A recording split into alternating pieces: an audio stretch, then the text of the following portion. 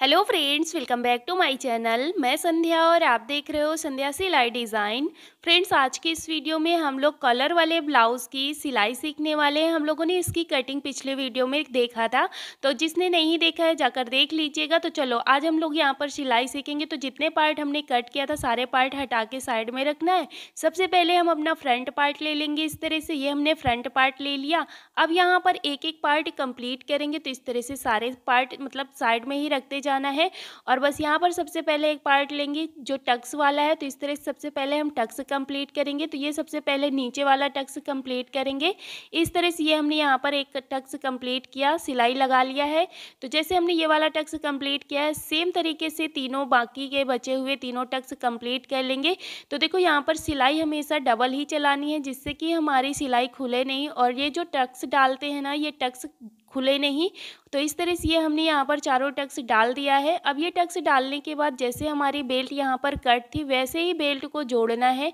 तो बस इस तरह से इसको पकड़ना है। पकड़ने के बाद यहाँ पर हाफ़ इंच आगे की साइड बढ़ाते हुए यहाँ पर इस तरह से इसको लगाएँगे तो ये हमने यहाँ पर इसको ऐसे पकड़ा और बस यहाँ पर सिलाई लगा देनी है।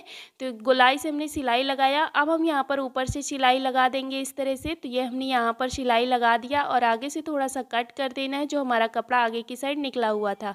अब जैसे इसको कंप्लीट किया सेम ऐसे ही दूसरा पार्ट भी हमने कंप्लीट कर लिया है।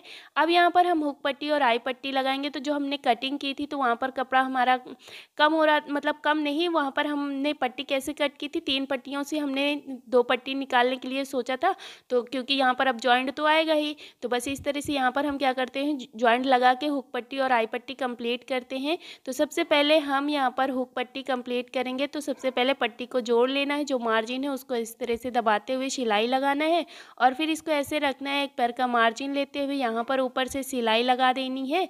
तो इस तरह से ये हमने यहाँ पर सिलाई लगा दिया, इसके बाद इसको पूरा ओपन करेंगे, जो मार्जिन है उसको हम पट्टी की साइड को फोल्ड करेंगे और सिलाई लगा देंगे। अब इसके बाद यहाँ पर इस पट्टी को ऐसे फोल्ड करेंगे और हाथ से प्रेस करेंगे, फिर से अंदर की साइड को, इसे अंदर की साइड को ऐसे फोल्ड करेंगे, हाथ से प्रेस करेंगे और इसे हम बड़ी बखिया से सिलाई लगाएँगे क्योंकि यहाँ पर हमें तुरपाई करनी होती है, ये हमने सिलाई लगा दिया। अब इस तरह से इसको बनाने के बाद यहाँ पर हम अपनी आई पट्टी बनाएँगे। तो आई पट्टी के लिए पहले तो हमें पट्टी जोड़नी होगी, अगर आपके पास मतलब पूरे प्रॉपर पट्टी है तो फिर बहुत अच्छी बात है, जॉइंट नहीं लगानी पड़ेगी। बस इस पट्टी को ऐसे रखेंगे, रखने के बाद यहाँ पर सिलाई लगा लेंगे। एक पैर का मार्जिन लेते हुए ज़्यादा मार्जिन नहीं लेना है। अब ऐसे मार्जिन लेने के बाद जो हमने सिलाई लगाई है, जो मार्जिन है, उसको हम पट्टी की साइड को सिर्फ़ फोल्ड करेंगे, सिलाई नहीं लगाएँगे हाथ से।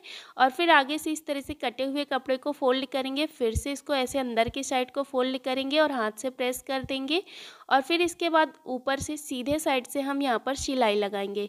तो ये हम सिलाई अच्छी फिनिशिंग पक्की सिलाई लगाएँगे। तो ये हमने यहाँ पर सिलाई लगा दिया। तो ये हमारी हुक पट्टी और आई पट्टी बन के रेडी हो गई है। अब हुक पट्टी को यानी कि घटवा पट्टी को बढ़वा पट्टी के ऊपर ऐसे रखेंगे और इसे हम पिन से सिक्योर कर देंगे, जिससे कि बाकी की फिटिंग डालने में हमें आसानी रहेगी। इस फ्रंट पार्ट को साइड में रखते हैं। अब ले लेते हैं पीछे का पल्ला। तो पीछे के पल्ले में जो हमने डॉट डाला था, वो पकड़ना है और ऐसे सिलाई लगानी है। तो जैसे हमने टक्स पर सिलाई लगाया, वैसे ही डॉट पर भी सिलाई लगानी है। तो बस इस तरह से ये सिलाई लगाया। सेम तरीके से दूसरा वाला डॉट भी कंप्लीट कर लेंगे।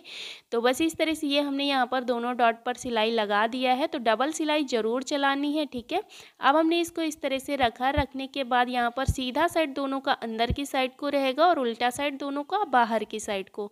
और बस यहाँ पर शोल्डर को ऐसे पकड़ते हुए यहाँ पर सिलाई लगा देनी है। ये हमने यहाँ पर भी सिलाई लगा दिया है तो सेम तरीके से दोनों शोल्डर पर सिलाई लगा देनी है। ये हमने यहाँ पर दोनों शोल्डर पर सिलाई लगा दिया। अब इसके बाद यहाँ पर हम कमर, सीने का नाप डालेंगे और नीचे कमर का नाप डालेंगे। तो सीने का नाप हम इस तरह से यहाँ पर डाल रहे हैं। तो सीना जैसे हमारा यहाँ पर था बत, वो छत्तीस साइज़ का तो अठारह हम ले रहे हैं, क्योंकि यहाँ पर हमारा हाफ़ करके लेना है, क्योंकि ये हमारा डबल फोल्ड में है, यानी कि फ्रंट और बैक दोनों रखा हुआ है। अब नीचे की साइड कमर डालेंगे तो जो भी हमारी कमर की साइज़ है, ये हमारी बत्तीस साइज़ थी तो हम बत्तीस का हाफ़ करके ले रहे हैं सोलह इंच तो जितना भी आपका कमर है, उसका हाफ़ करके लेना है, और जो सीना है, उसका हाफ़ करके लेना है, निशान लगाना है। अब उन दोनों निशानों को मिलाते हुए इस तरह से एक लाइन खींच देनी है। तो ये हमने यहाँ पर लाइन खींच दिया। तो इस तरह से ये लाइन खींचने के बाद अब हम क्या करेंगे? इसी लाइन के ऊपर सिलाई लगा देंगे अपने फिटिंग की। तो ये हमने यहाँ सिलाई लगाया और एक सिलाई उसके बाहर से लगा देंगे। अब यहाँ पर क्या करेंगे? जो हमारा फ्रंट पार्ट में नीचे की साइड थोड़ा सा निकला हुआ कपड़ा होगा, उसे हमें बराबर से कट कर देना है। मतलब इतना बराबर नहीं कट करना है थोड़ा सा मार्जिन छोड़ के ही रखना है। और फिर जो नीचे की साइड के पल्ला का हमारा एक्स्ट्रा का कपड़ा है, उसे ऐसे अंदर की साइड को फोल्ड करेंगे। और फोल्ड करने के बाद यहाँ पर हम ऊपर से सिलाई लगा देंगे।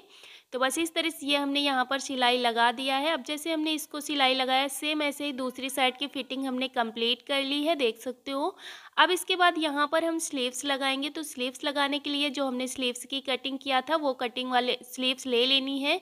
और बस इसको हम इस तरह से रखेंगे। यहाँ पर हमने जब कटिंग किया था तो सीधे साइड की तरफ़ हमने निशान लगा दिया था, है ना? तो हम क्या करेंगे, इसको उल्टे साइड की तरफ़ को फोल्ड करेंगे ऐसे। और बस यहाँ पर बड़ी बखिया से सिलाई लगाएँगे, क्योंकि यहाँ पर भी हमें तुरपाई करनी होती है। तो मतलब जब ऐसे सिंपल सी स्लीव्स हम बनाते हैं ना तो तुरपाई कर देते हैं तो ज़्यादा अच्छी लगती है और फिनिशिंग अच्छी आती है। है। ऐसे ही दूसरे स्लीव्स पे भी हमने सिलाई डाल दिया है। अब इसके बाद इसको हम उल्टे साइड को फोल्ड करेंगे, जिधर साइड से हमारा आगे की साइड का कपड़ा फोल्ड है।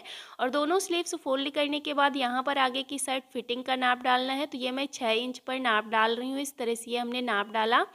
सेम तरीके से दूसरे साइड भी हमें यहाँ पर नाप डाल देना है। ये हमने यहाँ पर दोनों स्लीव्स पे नाप डाल दिया है बिल्कुल बराबर से। और बस यहाँ पर इस तरह से लाइन खींच देनी है। तो नीचे की साइड हमें कम से कम एक इंच कपड़ा छोड़ते हुए लाइन खींचनी है। ये हमने यहाँ पर लाइन खींच दिया है और बस यहाँ पर हम सिलाई लगा लेंगे। तो इस तरह से ये हमने यहाँ सिलाई लगाया। सेम तरीके से दूसरी वाली स्लीव्स पर भी सिलाई लगा देनी है। तो देखो ये हमने बराबर से बिल्कुल सिलाई लगा दिया है। अब हम इन स्लीव्स को क्या करेंगे? सीधा कर लेंगे। तो दोनों स्लीव्स को हमने सीधा कर लिया है और जो ब्लाउज़ लेंगे वो उल्टा करके लेंगे और स्लीव्स को सीधी करके लेंगे। ठीक है? अब यहाँ पर जो हमने हाफ़ इंच डाउन करते हैं, वो ऊपर की साइड को रहेगा तो ये स्लीव्स हमारी इधर की हुई और ये वाली स्लीव्स इधर की हुई। तो हाफ़ इंच दोनों की साइड हमारा ऊपर की साइड को ही डाउन रहेगा और इस तरह से स्लीव्स लगेगी। अब जो स्लीव्स जिधर की है, उसको वैसे ही रखना है और यहाँ पर इसको हम अंदर डाल देंगे अपनी स्लीव्स को आर्म होल के। ये हमने यहाँ पर डाल दिया और बस यहाँ पर हम सिलाई लगाएँगे। तो इन दोनों सिलाई को, जो हमारी फिटिंग है, दोनों की फिटिंग ऐसे मिलाएँगे और पूरे में हाफ़ इंच का मार्जिन लेते हुए सिलाई लगाएँगे पूरे गुलाई पे। तो यहाँ पर मार्जिन जो है, ये कैसे दबाएँगे, वो भी मैं मतलब बताऊँगी अभी। तो चलो, यहाँ पर हम पहले सिलाई लगा लेते हैं, पहले यहाँ से शुरू करते हैं। इस तरह से पकड़ा और पकड़ने के बाद जो हमारी फिटिंग है ना, बिल्कुल, दोनों की फिटिंग बिल्कुल पास पास में रहे। और ये हमने यहाँ सिलाई लगाया। अब जो हमारा ब्लाउज़ वाला मार्जिन है, उसको हम फ्रंट पार्ट की साइड को एक तीरा बना के ऐसे फोल्ड करेंगे और जो हमारा स्लीव्स वाला मार्जिन है, उसको हम उसके अपोजिट साइड इस तरह से तीरा बना के फोल्ड करेंगे, जिससे कि हमारा कपड़ा इकट्ठा नहीं हो और अच्छी फिनिशिंग से हमारे यहाँ सिलाई लग जाए। और बस इस तरह से यहाँ पर हम पूरे में सिलाई लगा के कंप्लीट कर लेते हैं। तो ये हमने यहाँ पर सिलाई पूरे में लगा के कंप्लीट कर लिया है, देख सकते हो। तो अब ये स्लीव्स हमने तो जोड़ लिया है। अब इसको मैं पूरा ओपन करके दिखा देती हूँ आपको। ये हमारी स्लीव्स लग चुकी है। अब जैसे हमने ये वाली स्लीव्स लगाया है ना सेम तरीके से दूसरी वाली स्लीव्स को भी लगा के कंप्लीट कर लेंगे। तो ये हमने दोनों स्लीव्स लगा लिया है। अब नीचे का बॉटम फोल्ड करेंगे तो इसको अच्छे से बराबर से रखेंगे और इसे हल्का थोड़ा बहुत इधर उधर छोटा बड़ा है तो इसको बराबर से कट कर देना है। ये हमने बड़ा, बराबर बिल्कुल कट कर दिया है आगे और पीछे का पल्ला। अब यहाँ पर हम क्या करेंगे, जो मार्जिन है, दोनों का मार्जिन आगे की साइड यानी कि फ्रंट पार्ट की साइड को रखना है और बस इस तरह से नीचे से कटे हुए कपड़े को ऐसे फोल्ड करेंगे और फिर ऐसे सिलाई लगा लेंगे। तो ये भी हम बड़े बखिया से सिलाई लगाएँगे, क्योंकि यहाँ पर भी हमें तुरपाई करनी होती है ब्लाउज़ में। तो इस तरह से ये हमने यहाँ पर सिलाई लगा दिया नीचे की साइड भी। तो ये हमने बॉटम कंप्लीट करा नीचे का। अब हमारा मेन चीज़ आता है यहाँ पर कॉलर लगानी है। तो कॉलर कैसे लगानी है? चलो, इसको हम सीखते हैं। तो देखो यहाँ पर कॉलर जो है हमारी इसको हम ऐसे ही रखेंगे। रखने के बाद जैसे हमने इसमें, जैसे हमने कट किया था और फिर प्रेस करना आपको बताया था ना, वैसे ही मैंने इसको रखा है और यहाँ पर हमने प्रेस भी कर लिया है। देखो ये बिल्कुल चिपक गई है। अब ये बिल्कुल भी इसमें बहुत अच्छी फिनिशिंग आएगी। तो बस अब हम यहाँ पर क्या करेंगे? बिल्कुल पेपर पेस्टिंग के साइड साइड से सिलाई लगा देंगे। तो बस यहाँ पर हम पूरे में सिलाई लगा के कंप्लीट कर लेते हैं। तो ये हमने सिलाई लगाया, इसके बाद यहाँ पर हमारा जो एक्स्ट्रा का फैब्रिक था उसे हमने कट कर दिया है। है। अब इसके बाद यहाँ पर हम इसको ऐसे सीधा कर लेंगे। जो हमारा पेपर पेस्टिंग है, उसको अंदर की साइड को कर देंगे। तो देखो जो हाथ दिख रहे हैं ना, जिनका ब्लाउज़ है, उन्हीं के हाथ दिख रहे हैं। मतलब जिनके लिए मैं ब्लाउज़ बना रही हूँ, वो भी अपना ब्लाउज़ बनाते हुए देख रही थी। चलो, अब यहाँ पर हम क्या करते हैं, देखो इसको अच्छे से टाइट करेंगे, इसको हमने सीधा कर लिया है। अब यहाँ पर ऊपर से सिलाई लगा लेंगे। तो बस इस तरह से ये हमने यहाँ पर सिलाई लगा लिया। और जो हमने पेपर पेस्टिंग रखा था ना, वो उल्टे वाले कपड़े में रखा था और फिर इसको हमने, ये हमने पलट के हमारा आ गया सीधे साइड में, है ना? तो ये चीज़ ध्यान रखना। अब हम यहाँ पर क्या करेंगे, इसका सेंटर निकालेंगे। तो इस तरह से ये हमने इसका सेंटर निकाला और सेंटर निकालने के बाद यहाँ पर हम सेंटर पर कट लगा देंगे। तो इस तरह से दोनों पे ही कट लगा लेना है, जिससे कि हमें इसकी जो फिटिंग मतलब जो हम सिलाई लगेंगे ना तो बिल्कुल बराबर आए, छोट, कम ज़्यादा इधर उधर ना हो। तो ये हमने सेंटर निकाला। अब हम पीछे वाले पल्ले के गले का सेंटर निकाल लेंगे। तो दोनों का सेंटर मिलाते हुए हम यहाँ पर सिलाई लगाएँगे, जिससे कि हमारी कॉलर जो है, वो बिल्कुल बराबर बराबर लगे दोनों साइड को। तो ये हमने सेंटर पीछे वाले पल्ले के सेंटर से और जो हमारा पेपर पेस्टिंग का सेंटर है, इस तरह से रखा। रखने के बाद आधा हम इधर सिलाई लगा देंगे और आधा उधर साइड तो हम इस तरह से पहले शुरू करते हैं। तो बस इस तरह से ये हम पूरे में सिलाई लगा देते हैं एक साइड, ये हमने सिलाई लगा दिया। अब थोड़ा सा रुक जाएँगे, कम से कम हाफ़ इंच के लगभग अंदर रुकेंगे और बस इस तरह से ये हमने यहाँ पर जो और पट्टियाँ कट की थी तो वो पट्टी ले लेंगे और लेने के बाद यहाँ पर इस तरह से रखेंगे। तो ये मैं नया तरीका सीखी हूँ तो मैंने मतलब पहले मैं क्या किया करती थी, पहले पूरा गला बना लेती थी, उसके बाद ये बनाती थी। नहीं, आगे वाला गला पहले कंप्लीट कर लेती थी, फिर जो है कॉलर लगाती थी। लेकिन आज मैं क्या कर रही हूँ साथ में ही कॉलर भी बना रही हूँ और आगे का पूरा गला भी फोल्ड करेंगे। तो यहाँ पर हमने हाफ़ इंच आगे की साइड छोड़ते हुए पट्टी को रखा। मतलब कॉलर के ऊपर से ही रखना है। कॉलर को छोड़ते हुए नहीं रखना है। वहीं से हमने इस पट्टी को रखा और यहाँ पर जो एक्स्ट्रा की पट्टी थी कट किया और फिर इस तरह से सिलाई लगा दिया। और कहीं कहीं पे कट भी लगा दिया है। अब इसके बाद दूसरे साइड को हमें इसको फोल्ड करना होगा तो कैसे करेंगे? चलो, यहाँ पर मतलब सिलाई लगानी है तो अब हम यहाँ पर सिलाई कैसे लगाएँगे? तो इसको बराबर बराबर से बिल्कुल मिलाते हुए रखेंगे। और यहाँ पर हम जो हमारी पिन है तो इन पिन को ऐसे मिलाएँगे। तो देखो यहाँ पर जिनका ब्लाउज़ है वो मेरी हेल्प कर रही हैं मतलब काफ़ी हेल्प कर रही हैं, मुझे पिन वगैरह सारा कुछ दे रही हैं।